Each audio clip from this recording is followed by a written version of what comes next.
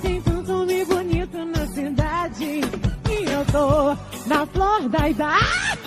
Melhor se arrepender do que Que susto, passar no!